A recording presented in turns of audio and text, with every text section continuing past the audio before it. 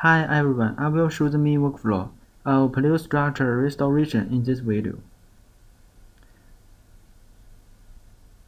There are four tools of Paleo structure restoration in DepthInsight.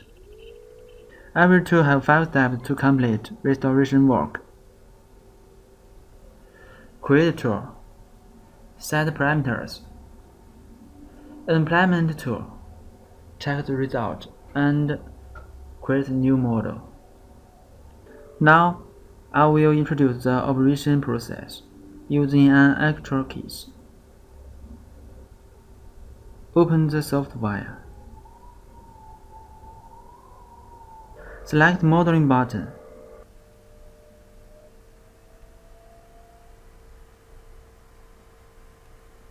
Open the prepared model.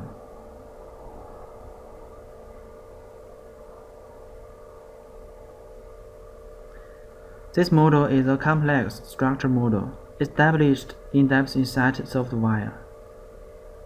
I will introduce the operation process using it. The node of Paleo structure restoration is in the bottom of trade windows.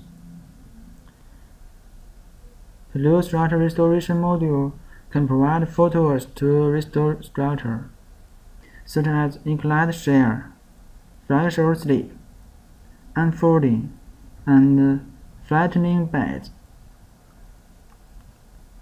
Before the restoration work, we need to study evolution of the whole block to judge development period of the fault and horizon, in order to restore structure more accurately. The first tool is the inclined shear. It is to restore the normal fault.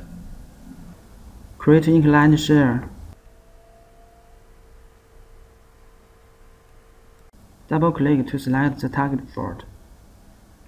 Adjust the relevant parameters in Right Properties column, including shear upper surface, shear lower surface, azimuth and inclination of shear vector, display setting, and so on.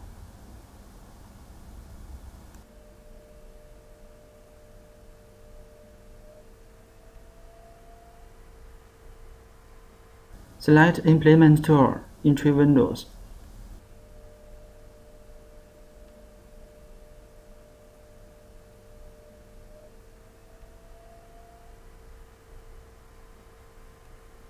We can check the result after calculated.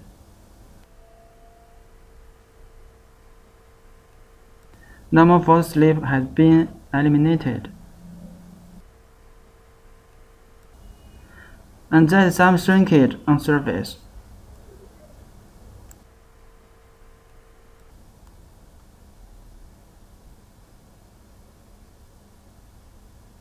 Then use this way to complete restoration of other normal faults.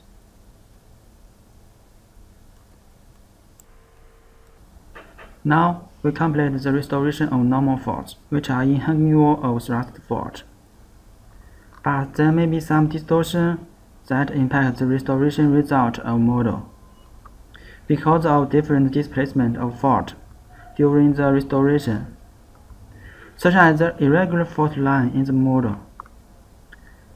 It needs us to create a new model to modify.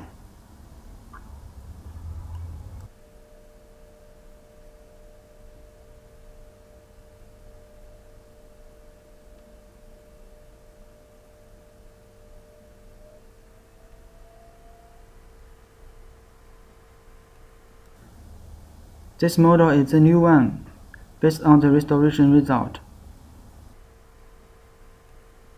And next, we need to adjust model boundary according to the data of discrete point to ensure the changes of shrinkage quantity.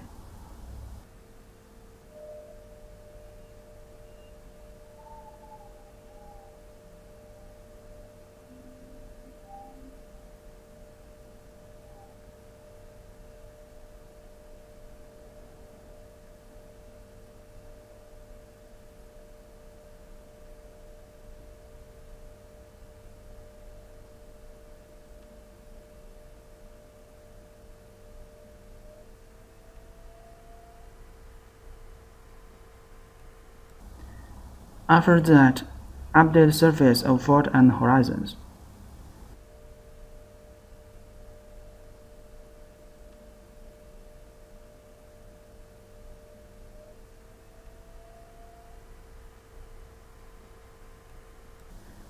The model basically inherited the restoration result of the first model. Now we continue to restore the normal fault in the footwall of thrust fault.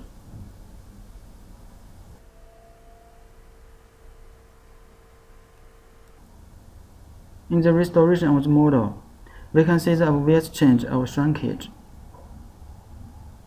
As restored all the normal fault, we need to create a new model again to modify model distortion, and then continue the restore work.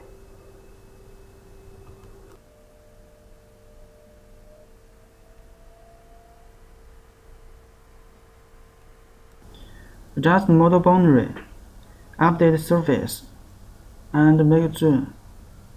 This will flow like as we did above.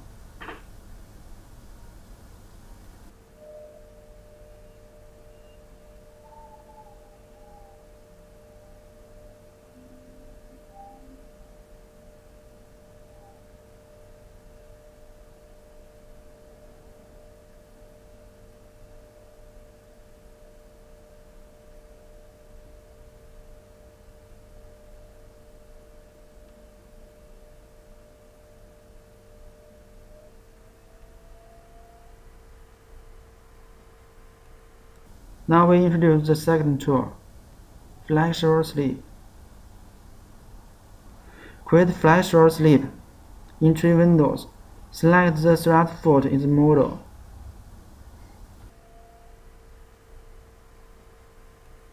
And set properties such as target surface to slide basement, movement hanging wall, and so on.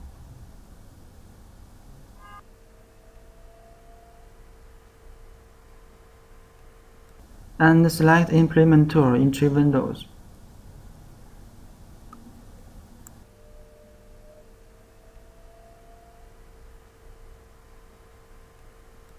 We can check the result after calculated. The displacement of thrust fault has been eliminated.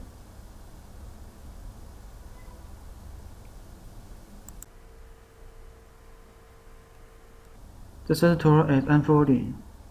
We can treat one side of the model as the fault zone. Create unfolding tool.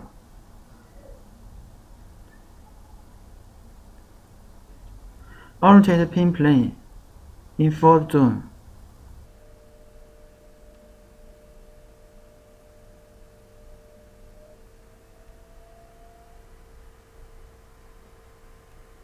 Adjust the scoping of the fault control by modified forward and reverse.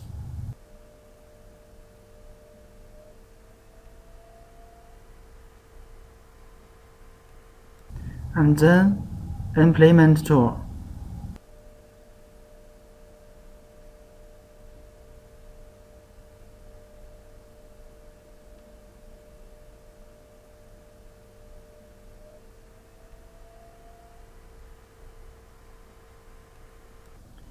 We can check the result and contrast the surface change between calculating before and after.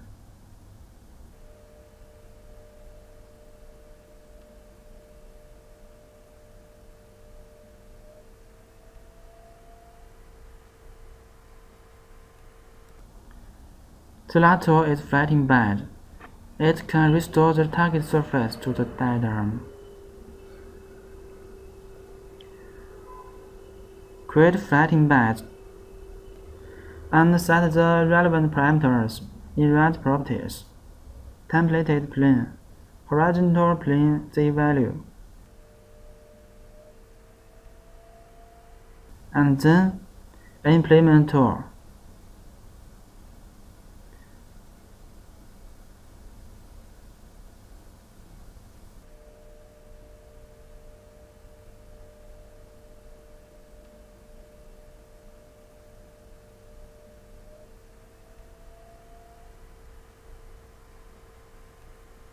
The target surface has been restored to the data of 0 meter. Now we have finished the restoration of T2. At present, we save the model and create new model. The new model is our restoration result.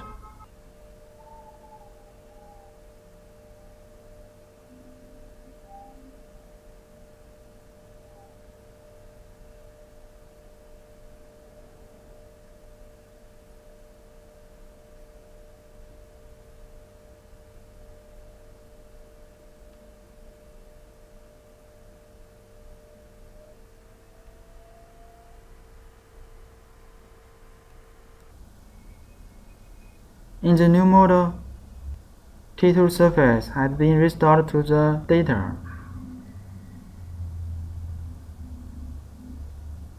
The next work is T3 surface restoration. We need to delete T2 and T3 at the top surface of the model. Thanks for your support. The following is our contact information. If necessary, Please contact us.